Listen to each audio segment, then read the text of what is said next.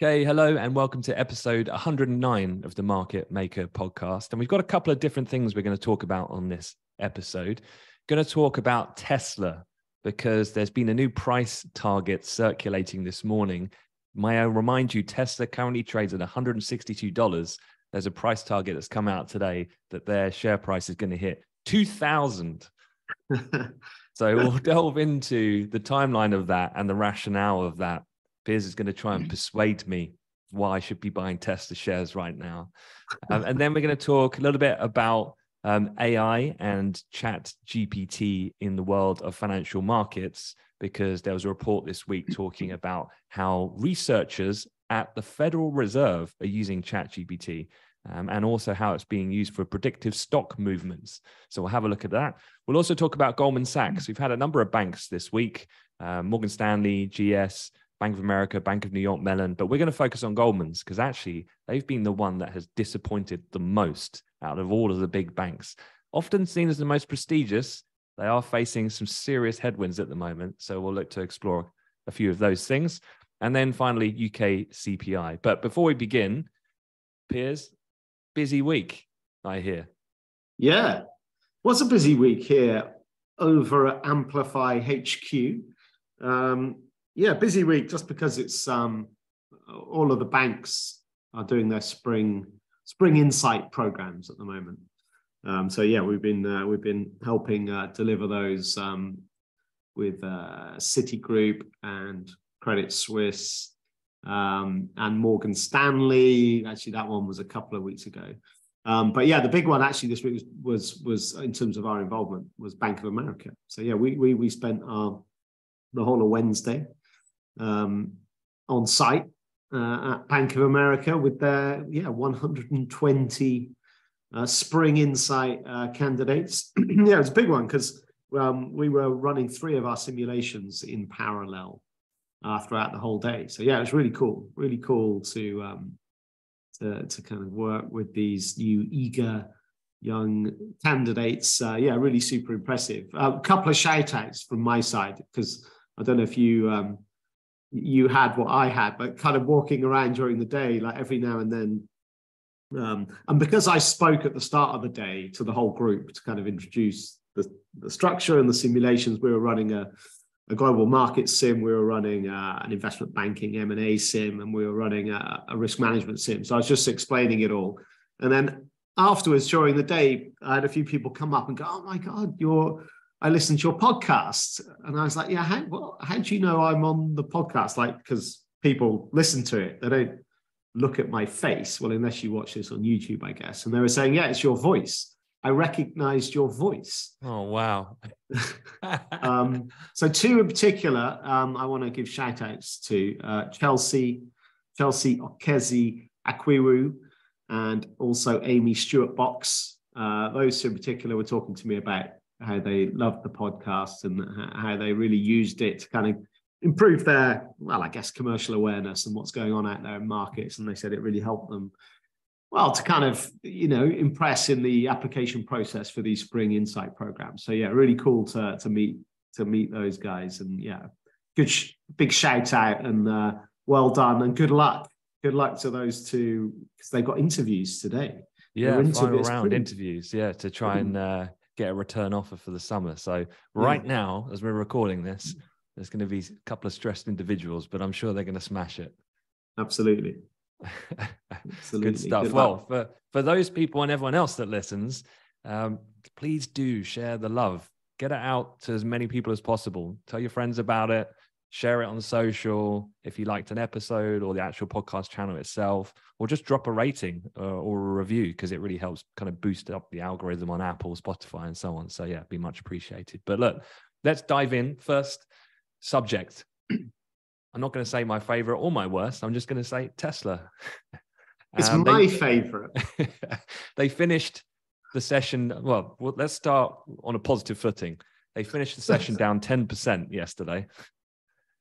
And the 10, reason, yeah. Yeah. The reason for that was they had their was a double whammy. They had their earnings and they've kind of slashed prices again. So one of the main things I wanted to talk to you about was um, margins and also economic headwinds at the moment.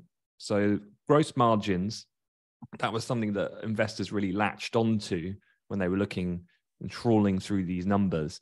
Um, and one of those was that it dropped from 29.1% to 19.3% year over year after the company rolled out a series of recent price cuts. A couple of other numbers before we latch onto that area. The EV maker's net income was down 24% from last year, uh, while GAAP earnings were down 23% from a year ago. So that that's all I'm going to say about the negative numbers so far. Well, I'll come on to the earnings call in a moment. were there, well, hang on. What about the, any positive numbers? No, I, you, I, just I, said I a load of uh, numbers. And I only promote coincidentally, the, uh... they're all negative.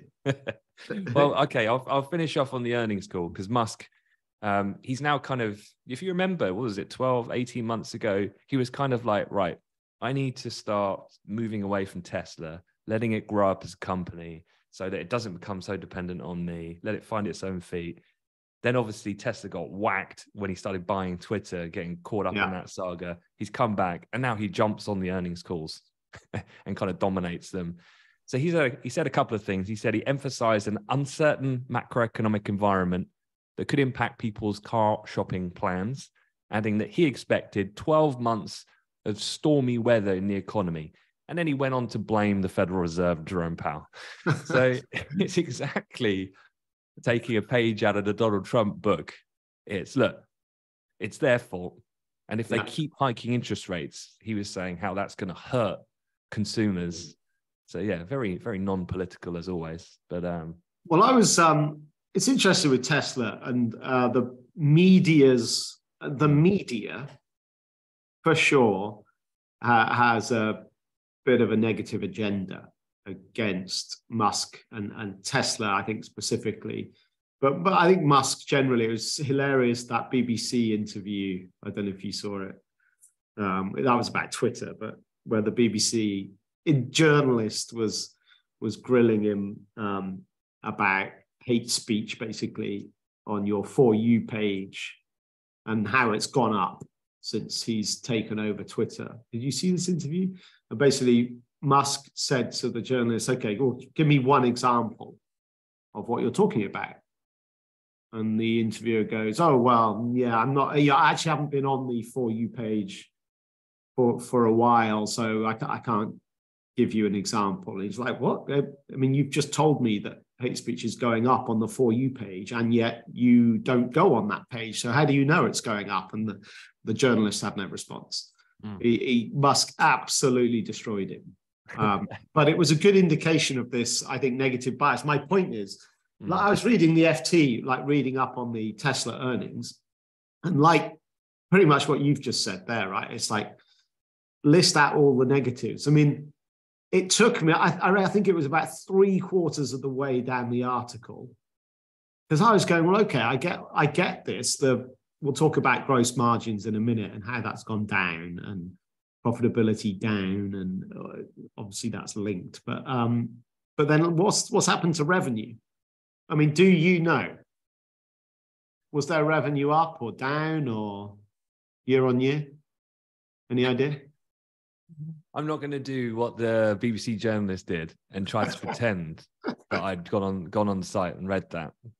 Yeah, so I guess this is my point in that it, it, it, it literally it was about three quarters of the way down the article that I finally found uh, the revenue figure. Um, and, and revenues, yeah, revenues are up and they're up quite strongly, but year on year, I can't, now that I'm speaking, I actually, I've lost the figure. I think it was like 20% up or something. Um, so, so fine. But look, yeah, generally speaking, the earnings numbers are worse than expected. Of course, the share price is down 10% uh, to, to reflect that. I mean, I will just caveat that it was the share price was up 65% yeah. uh, on the year, like since January. Um, but for sure, off 10%. Let's talk about this gross profit margin thing first. That's definitely the big one, uh, the big story of these earnings. And so, and this is a key kind of metric for the, you know, measuring the competitiveness of each company within the automotive sector. Because building cars is super labor intensive. It's, it's a very there's a there's a very high cost of production, and that's why when we're looking at an automotive business and trying to judge um, its success against its peers, we always look at the profit margin. So the gross profit margins are probably the, the, the most important metric when you're analyzing the automotive sector. Historically, Tesla had an incredibly high gross profit margin. So this is obviously a good thing, like best in class by a country mile. Well, okay. when your car is the worst in class for reliability and quality, that makes a lot of sense, right? uh, well, there, there are other reasons why they've got a high, relatively high gross profit margin, which I'll come on to in my bullish case uh, in a minute. But for sure, take the bearish situation their gross profit margin has dramatically dropped in the last year. It's gone, as you said, from 29% down to 19.3%. Okay. Huge drop. A lot of that is because of the big price cuts, deep price cuts that um, Tesla have been pushing through to try and just, well, increase sales, obviously, to try and you know get get get some money coming in to shift some stock. So they've had like, for example, price cuts of up to 20% on some of the Model 3 and Model Y uh, vehicles. They're the kind of two best sellers, right? So 20% price cuts is obviously stinks a little bit of panic with regards to, you know, I guess the challenge Tesla has, which is that now the entirety of the automotive sector is now in this kind of peloton behind them, trying to now catch up. It's all EV everyone's EV everywhere. And so finally, now everyone's chasing and hunting Tesla down, who were, you know, the pioneers in this space, of course. But um, but 19.3% gross margin, right? But that is still higher than all the others. It's just that the gap has dramatically shrunk. For example, um, Volkswagen um, their gross profit margin is 18.84%. Okay.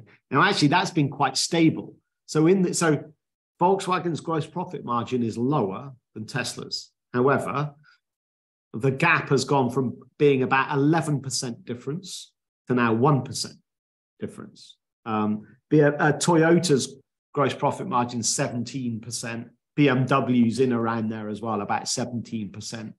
So they're still best in class, but their massive advantage in this area has almost entirely vanished. So Musk's point is look, we have this amazing gross profit margin. So let's sacrifice a bit of that to win market share. So he's cut prices, which obviously immediately drops down onto that gross profit margin line in order to win market share. That's his strategy. Um, so that's why the numbers were a little bit shocking and why the share price is is kind of down 10%. And then obviously his macro view, he's setting us up for weak demand for the next 12 months. Um, so what happens over that next 12 months then? Let's say the situation, we do go into a US recession and more of the kind of bearish economic situation unfolds his margin is now has shrunk. He's still got yeah. space, obviously, even though he dropped within to the peloton, as you say. Yeah. What what's the next play after that? Because there's no well, new major XY models coming out, is there? That's going to like reignite new enthusiasts' demand for a new model. So when you look near term, next 12 months, he's played his ace card already. Mm. That's done. He's used all of his gross profit margin advantage, almost all of it. That card is on the table, played. Okay. But if you're thinking of, so I, I agree, in the next 12 months, yeah, it's probably going to be maybe a bit challenging. And, and, and obviously, entirely comes down to what is still a big unknown. And the big debate on the street is is there going to be a US recession? When will it start? And how deep will it be?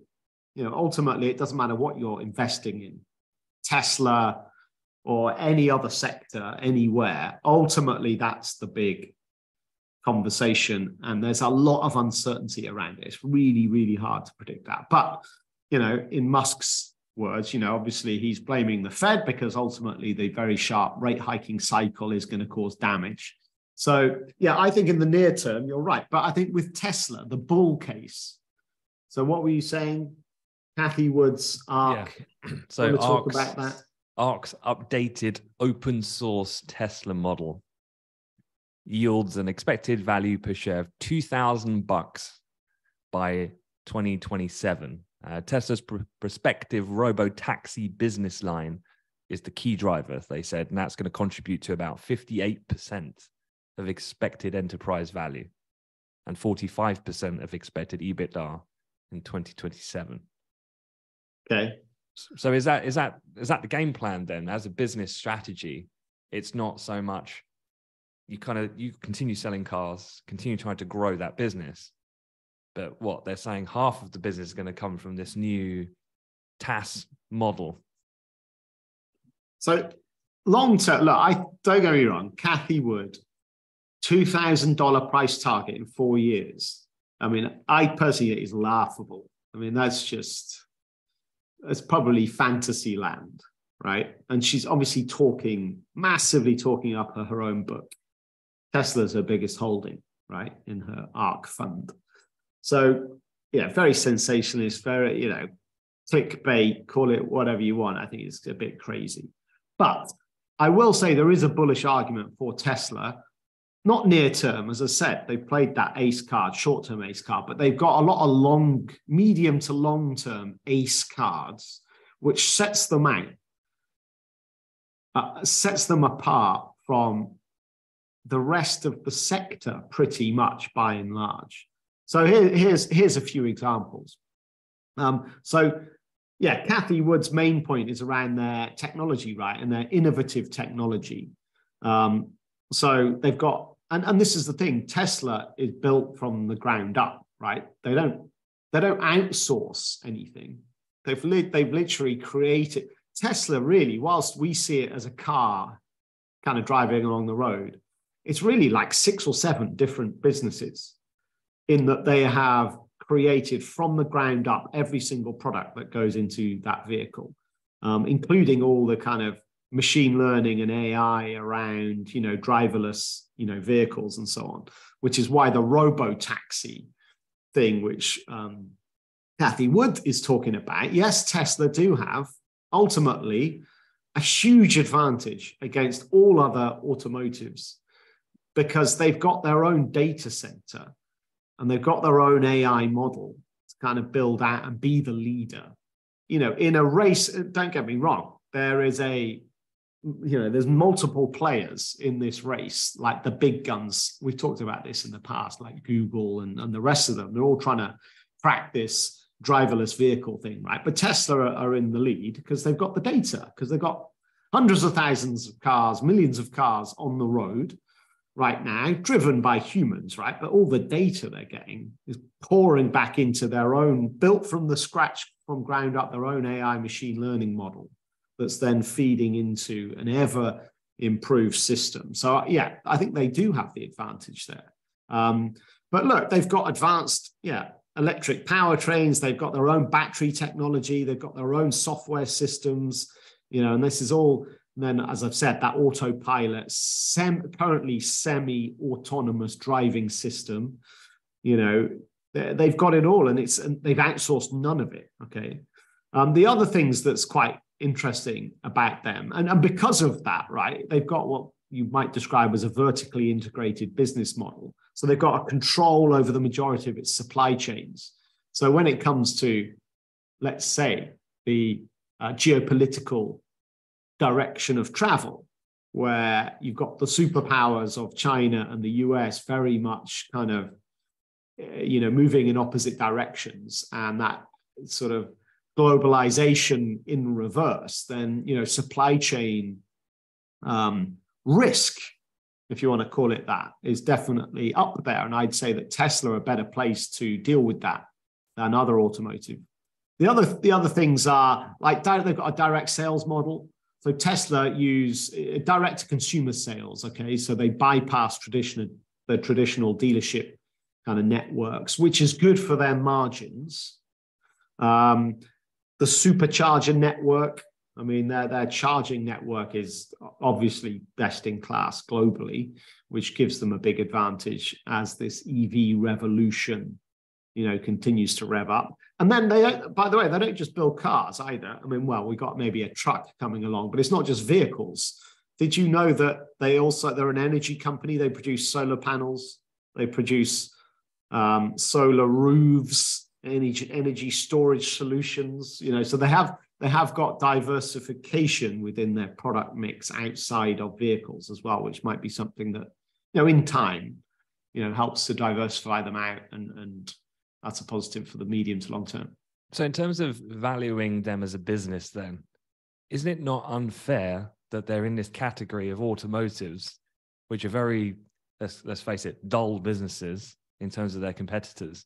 Is it not more fair to put them in some of these more high growth related peers, which then yeah. make them a less favorable looking company when basically putting them in a sector that's not really appropriate? Well, I think this is the thing, right? When you sit down and go, right, let's start a company and our product is going to be to start with a car but let's not outsource anything. Let's literally start from build it from the ground up in every single aspect. Then the thing is it takes a huge amount of time and a huge amount of investment because you're starting from scratch with everything. So right now today this huge amount of time this this product evolution if you like is still just a car that's driving on the road. So right now, that's their revenue. Their revenue is coming from selling cars that get driven on the road by human beings. Their key advantage is still to come in the future of the evolution of their, their, their kind of product. And so all of the groundwork is laid, but I think the benefits from most of that work and investment and efforts, efforts probably still lies in the future, I would say, which is what Cathie Wood's argument is.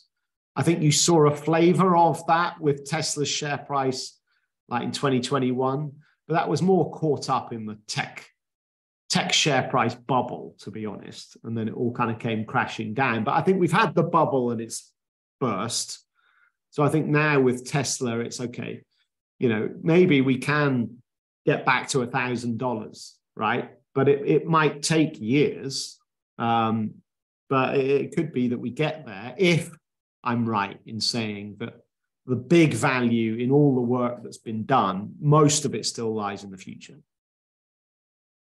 Question, and I don't want this to sound too morbid, but this is something that you would do, right? As a trader, you'd think about lots of different outcomes of certain scenarios when you're taking a position of risk. Um, you'd think about the base, but you'd also think about fringe cases which could happen. What would I do in that situation? If something happened to Elon Musk and he's not around anymore, what's the value of that business? Uh, I, I, I think it's now. I, think you'd get a short term kind of negative shock impact to the share price. I don't think the business, medium to long term, suffers. Um, I think the best examples are look, Steve Jobs, right? When he left Apple, it was like, oh, well, then that's Apple gone, like in terms of its innovative roots that has changed people's lives. Well, that that's that's gone. There's no more upside. And of course, that was proven entirely incorrect. So, yeah, it would be a significant moment, but I don't think it would alter. It's too mature now. I don't think it would alter Tesla's um, trajectory over the medium to long term as a business. Mm. Okay. Why are you? Uh, are you looking to, to knock him off? I mean, I know you dislike the man, but I didn't realize your hatred was was quite that extreme. Well, we'll see. When um, I'll just keep an eye on the um, when Elon starts offloading some more shares. Then. Uh... All right. Well, look, let's let's move on and let's talk about um, another technology piece actually, as a kind of segue into what we've just discussed. So, Um, first wave of academic research has come out this week applying to Chat GPT and finance. And it was talking about two, again, academic papers. And actually, I think these were citing the Federal Reserve. Because actually, if you think about the Federal Reserve as, let's say, a company, they have thousands of employees. And yet, the ones that we focus on is just a very small, tiny portion, which is the, the policy committee that make interest rate decisions, for example. But actually, there are thousands upon thousands of researchers, people who work in research, regulation, supervision. That generally is what makes up a workforce at a central bank. But they've come out, there's a couple of pieces. They've been, since this technology has kind of gone viral, they've been doing a couple of studies. So the first one is um, can Chat GPT forecast stock price movements, return predictability, and large language models the study prompted ChatGPT to pretend to be a financial expert and interpret corporate news headlines. Uh, they used the news after late 2021, so a period that's not covered in the chatbot's training data, as to just see what the outcomes would be. Um, and the study found that answers given showed a statistical link to the stock's subsequent movement. Uh, and I'll give you an example and see what you think, Piers. So the example they had uh, that Bloomberg picked out was the headline that uh, Rimini Street fined $630,000 in a case against Oracle. Oracle, who you'll know, the software company in the US. Um, was good or bad for Oracle?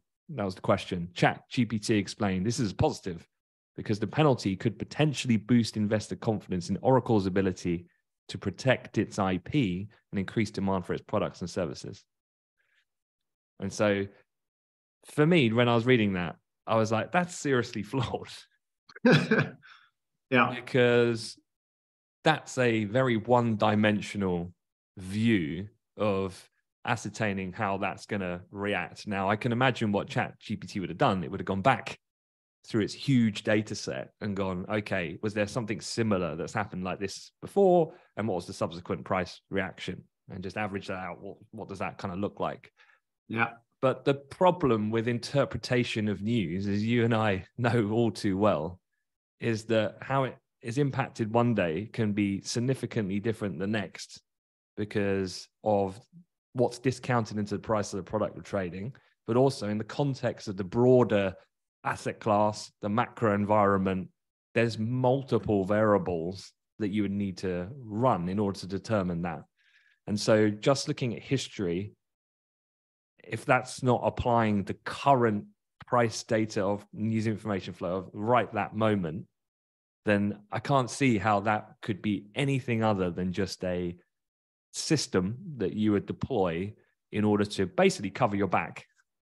And if something happens, oh, there's a little trigger alert. That's something I should investigate. And that's how we used to use it on the desk I used to work on, similar types of methods that we'd set up where keywords would get highlighted or flagged, or if a price uh, movement breached or an average um, sh- uh, options volume breached a certain five day average, you would get flagged. You had no idea what the news was. All you yeah. knew that there was something going on, and then you investigate. So, do you see that similar in this scenario, or do you see it? Well, I think so. With um, you know, algorithmic trading systems have been in the business of trying to, uh, let's say, interpret news and place a trade based on that information as fast as they possibly can. So this has made the efficiency around how price reacts to breaking news, the efficiency has been uh, driven ever higher and higher and higher. Um, I know this firsthand because I used to trade as a human manually. Uh, our job, our edge, our strategy was really to trade the inefficiency that there was between prices of assets reacting to certain scenarios. Um, so this is like pre-fund like i started trading in 2002 right 2002 3 4 5 okay those years were great years where there was huge inefficiency it was arbitrage trading okay and you we would trade. I don't want to get into too much detail, but we would trade like let's say, for example, different German government bond maturities. We would trade the two-year bond, the five-year bond, the ten-year bond, but we we wouldn't trade them outright. We wouldn't be saying, "Oh, I think that bond's yield is going to go up."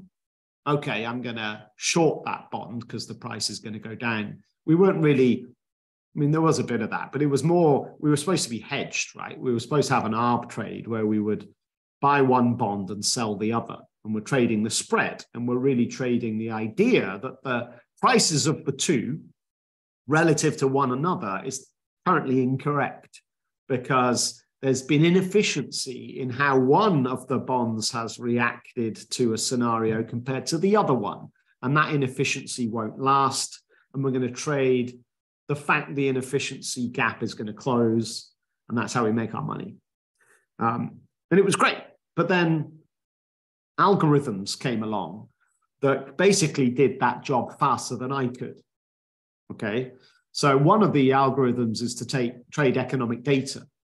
So this is numerical and it's very easy for an algorithm. So you have, let's say, the US non-farm payrolls number is announced, um, and then a computer algorithm can go, okay, what's the data? How does that compare to the expected figure? Okay, it's higher or it's lower than expected. Okay, I'm buying or I'm selling whatever asset it is. Okay. And it became a race, really. It wasn't really trading. The hedge funds entered into a race of who could build the fastest machine. And they've got it down to literally like a nanosecond where they can execute a trade automatically, obviously, following an information release. Okay, but that's that's numbers, and it was we still had an edge as a human because it was like okay, fine, you you algos, you you crack on if you want to trade on those data releases, that's fine. I've still got other stuff that's more nuanced.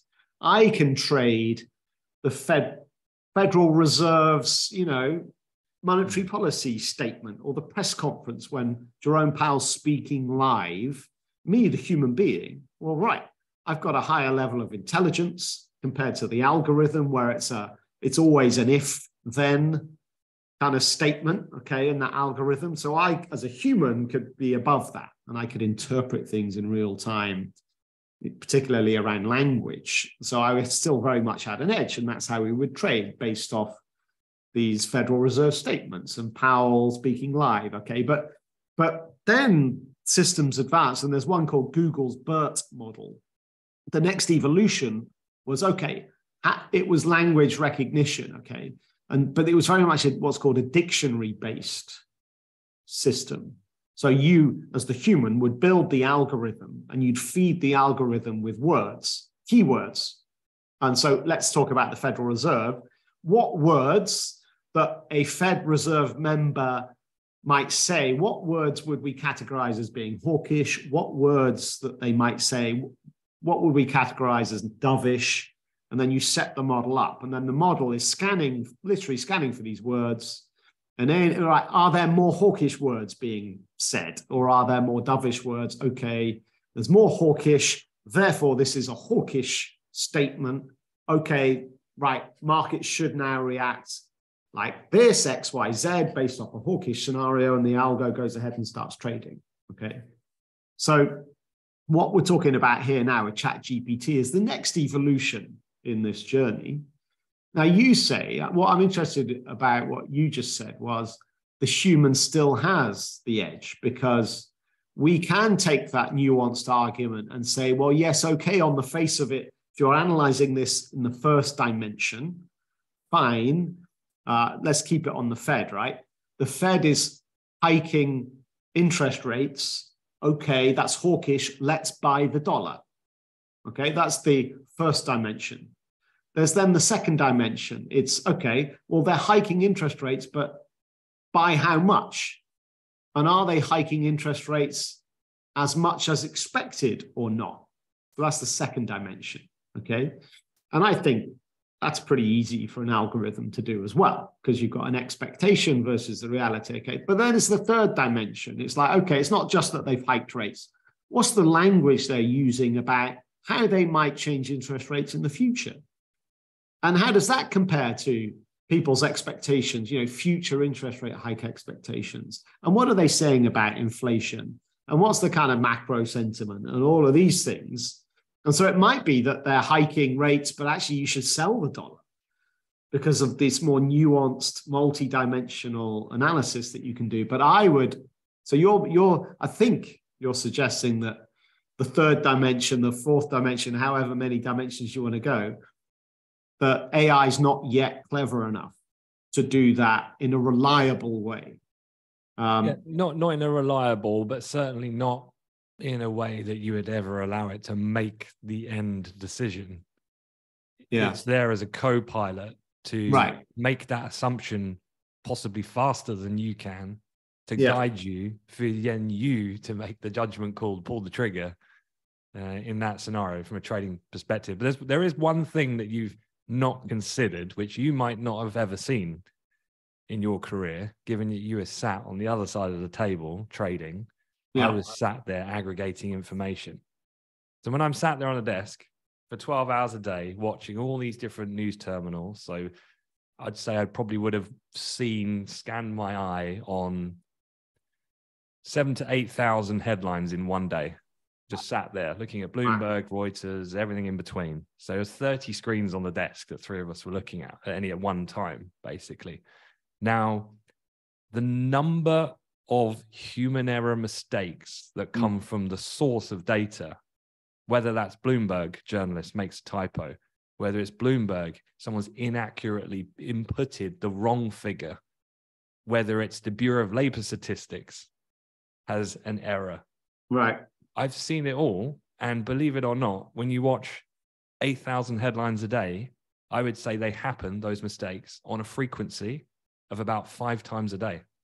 Wow. They happen a lot. And you see Bloomberg all day long will run headline that's obviously wrong. They've put too many digits or the decimals in the wrong place, or they flash something. And then five seconds later they put corrected and then right. the next headline comes up and you're like well yeah of course it's wrong so how do you account for that because the machine's reacting to its input. Yeah. Right no absolutely. Well well yeah but you could argue that the market will react to the inaccurate information. So you'd have to build the model to make an assumption that if the incorrect whatever it is is is wrong within a certain deviation then it could be accepted as believable by humans who might trade it but if it goes beyond that it's obviously so far wrong that no one would actually look at that and i yeah, know but- this from the time when i squawked hike 100 instead of hike 25 for a Bank of England decision very early in my career and not one trader out of thousands listened to what I said because it was yeah. so far wrong. Yeah, but you've you've seen scenarios. Um, well, remember, like talking about journalists getting it wrong. So the, remember when the FT mm. tweeted um, that the ECB. I'm going to get this the wrong way around now. Did they say that they weren't cutting interest rates? Yeah. So the expectation was they were going to cut it was yeah. going into the end of the year, 2015, and then they FT seven minutes before ECB leave rates unchanged. Market right, now, did react sharp. Yes, right. The market that's because it was the FT. Okay, so it's coming from it's coming from a source that is global, globally hmm. disseminated instantly, and it's a reliable source, right? So markets react, but then fine, they pulled the tweet and they corrected it, right? So your algo needs to be clever enough to then pick up on the fact that that second scenario has happened and, and realize that the initial market reaction is not sustainable and needs to be reversed. Right. But the value add in that sense is not only did that not would that not happen at this point in time, likelihood is because the yeah. models haven't been trained that way. Yeah. But in that situation, I called my contact at Bloomberg and I called my contact at Reuters. And within, I'd say 30 seconds to a minute, then I've got the intel that that's not come out. That's not official. No one said anything. We can't actually say anything yet, but it's BS. But then, so then, yes, the algo can react in the first part, but the multiple parts thereafter. What I'm saying is, is that there's always another unforeseen. I sat there for long enough where it's like just when you think I've seen every single thing that can go wrong, yeah. another thing happens. And it's what about that one time yeah. where something completely, you know what it's like to trade. Let's say you're in a massive position and it's that one time when something just completely odd happens from a news perspective. And then the algo does something wrong. Well, I think this this conversation, I think, is a very good one that speaks to the, the more broadly about where we are with AI. Mm. I think you used the right word earlier, co-pilot, right? Mm. I think right now, in terms of this, it's so brand new, right? You're, you're right. You shouldn't. It's not good enough, and it's not mature enough to just let it entirely do the job of a trader. Um, but it's a great co-pilot that can help the human being. I would say also a lot of the examples we're talking about here are human errors, but surely the number of errors will dramatically reduce because we won't rely on humans to input data, type in a number, and then hit post, and it drops onto the Bloomberg terminal. It won't be a human being doing that. So those types of jobs will be eliminated, and then the human errors will reduce. But yeah, look, I think AI is disrupting, obviously, will disrupt everything. Um, and finance is, is, certainly right in amongst that for sure. Okay. Well, let, let's, let's, we've got two more subjects to quickly yeah. cover off. So let's talk about Goldman's.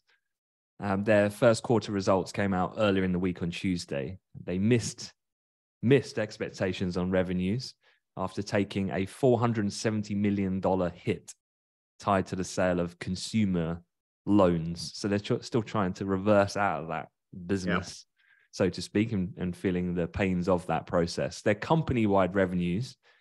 So this is the interesting part and what I wanted to talk to you about. The company wide revenues fell 5%. And that was below expectations. So, other than the consumer loan hit, weaker than expected bond trading, mm. particularly, and asset and wealth management results were also weaker. So, we're talking like and investment banking fees not getting a mention here because we know the state of that. They're already pretty depressed at this point, albeit a couple of big deals in the pharma space coming through recently. Um, but fixed income currencies, commodity trading revenues were down 17%. Still a pretty chunky figure, 3.9 billion, but that was below street estimates. So below estimates and also lagging peers in the group, namely JP Morgan, Citigroup they had increases over this period. Yeah. Yeah, I mean the the bad news just keeps on coming, doesn't it, for Goldman's? I mean, they are having a shocker, um, and really have been for well, you would say the last couple of years, but I think it's all coming out in the wash now. We've talked about it before. They made that major pivot or tried to to enter the, the consumer banking market.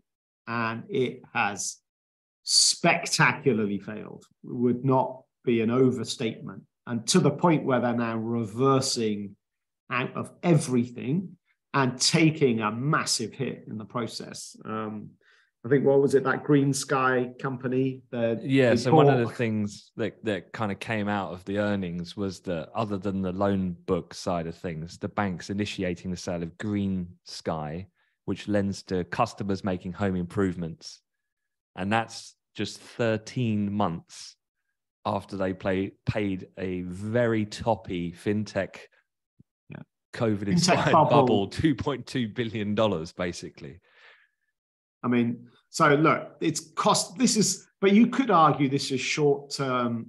stuff where, okay, we had a major strategy idea, we tried to execute it, it's failed. Let's write it off and let's yeah. go back to our core. Okay. The biggest problem of all for me in these earnings, we kind of knew this is all bad on the consumer side, but the biggest problem, look, okay, the IBD side, if they go back to their core, well, what's their core? Well, it's IBD and its markets. And you could say wealth management now, but that's still a, a spin off, not a spin off, sorry. That's a, still a smaller entity, right? So it's their core is investment banking and markets. So let's drop back to the core. Well, one of those two pieces of the core engine has stalled, as it has done for all of the banks. That's the IBD side. Deal flow has collapsed. And fine, all banks, all IBD divisions is having a really bad time of it. Revenues are sharply down, no fault of their own. It's deal flows dried up. So then it's the other core part of the engine is the market side. And this is where other banks, and it normally one balances off the other. And other banks have had a really good period for markets. Their fixed income trading divisions, for example, revenues higher because of all the volatility we've had in markets over quarter one. And it's this volume and, and volatility that tends to be really positive for markets revenue. So the big clangor here in this report is the trading revenues are down quite sharply, whilst their peers seen trading revenues going up. So I don't know what's going on in the market side at Goldman's, but at the moment it is just it's just disastrous right across the piece. So hmm. We were kind of saying offline before about how uh, Solomon could stay on as CEO in this, given this run of negativity that they've had. Perhaps yeah. from a strategic point of view, um, there's still a long process to go through to exit that consumer part of the business. So I'm not saying that I'm privy to any special information, but yeah, maybe you just need. I mean, this is a bad period, and it's probably going to get a little bit worse given some of the things they have to do in the period ahead. And so, if you were going to make a change, let's say we are the board or the chair, yeah, wouldn't want to do it probably quite now ride it out and come with some positivity. It's almost like when you have that transition at the helm, you need to pick the moment where there's some momentum in a positive fashion coming out of it. I don't know about that. If I was on the board, I would definitely be looking for an alternative to David Solomon right now. Mm. I, I, think, yeah, I think he's done. Uh, I think he's just not managed the company well and not well enough. I mean, all right, they had a major strategy on the consumer banking side, which has failed, but it, it looks like that in the meantime, they dropped the ball everywhere else as well. And I think, I don't think, you know, it's like a football team, right? If, if you've just lost 10 games in a row, mm. but you've only got 10 games left to the end of the season, what do you do? Stick with the manager? No, get him out. We need someone else to come in and we need, you know, start from start from fresh, new fresh set of eyes, and that can give you know the markets confidence that all right, fine, you you, you it's a new chapter. Mm. I think they need a new chapter now, and that requires Solomon to go. I get it is one of the issues there that using the football analogy, if you're running a major Champions League contender these there's only a finite number of managers who can run at that elite level. So who do yeah. you replace him with? So I guess you got to look internally, right? In the interim, at least, as they do in football. Well, sticking to the football analogy, we are in a very weird scenario where actually the number of Champions League qualified managers that are available is like a record high. There's a lot of like because Tottenham have sacked their manager, Chelsea have sacked their manager. Why? Real Madrid are maybe looking to change. Why? Because all of a sudden you got five or six managers who are top of you know top of everyone's list permanently, and actually they're all available. So weirdly, that's a very unusual scenario. You're right on the banking side. Well, could, don't you look internally? But then I guess you mm. could say, well, if they've been part of the team right that's failed, well then, yeah. So no, I, I do agree. It's it's not easy to change CEO, and yeah, so particularly when you're taking over like a Man United, yeah, indeed, type of organization of the banking world of like pedigree, history. Yeah, yeah, but that doesn't mean you shouldn't change, though. Hmm. because it's hard to replace doesn't mean you shouldn't replace. Mm. Yeah, even Wenger got it in the neck in the end. All right. UK CPI, just to wrap, um, probably quite quick on this one because I don't think it was massively surprising. But inflation, yeah. Uh, UK Consumer Price Index did drop from 10.4% in February to the latest reading of 10.1. The problem there was that analysts were hoping for a deeper drop to 9.8. The core reading, so ex food and energy, remained unchanged at 6.2%. Thoughts on that? Uh, well, yeah, just higher than expected. Um, I think, yeah, what's that? What was key about 9.8, and this is very human behavioral. 9.8 was the forecast, right? If it had have been 9.8, then that would have been the lowest reading since June of 2022. Because it, but because it's 10.1, it stays, uh, it stays quite, the, the chart looks quite flat, right? Rather than what you want to see is a downtrend. You want to see evidence that the downtrend is in place. And you can see that if you look at the US CPI chart, you can see that clearly. The UK CPI chart is still flat. There's no trend. I mean, it's not mm. trending higher anymore. Great, but it's, it's not trending lower either. And I think that's quite key here with this data. The trend stays flat. We were hoping to see evidence that the downtrend had begun, and that evidence didn't materialize. So I think that's the that's the takeaway. So yeah, the Bank of England may well hike more and continue to hike. So, yeah, not a good week for uh, Rishi then. So can't really bang on the drum of inflation finally falling. In fact, worse because food price inflation hit a record at 19.1%. That really yeah. hits at the heart of the voter, right? In terms yep. of the cost of living crisis. And then I just saw Dominic Raab the UK resigned. Um, Deputy Prime Minister resigned over the second case of bullying since Rishi came on board. So yeah, just to kind of yeah wove in a bit of politics into it. Just to finish, then, this is why people like Musk are saying that the next 12 months look stormy because inflation is staying high. Like, go down to the supermarket and buy your essentials. Prices are crazy high. And in the end, interest rates will stay high or get higher. And in the end, something's got to give here. And what will give is consumption. It'll drop. And that will cause a recession. And that's the only way to bring these prices properly back down, to get inflation back to 2%. Really, the only way that's going to happen is a recession. It's just that markets are not pricing it yet. They're pricing weirdly. I don't know. They're pricing like a, a soft landing at worst. And I, and I, yeah, I still think that's wrong in my humble individual opinion. But hey, what do I know? Okay. What I'll do is I'll, I'll pop down to Curry's, go and buy myself a Piers Curran 2.0 latest version, plug it in, see what it comes out with but, uh, cool. All right, we'll wrap it up there. Thanks very much, Piers. Thanks for listening, everyone, and we'll see you next week. Have a good weekend.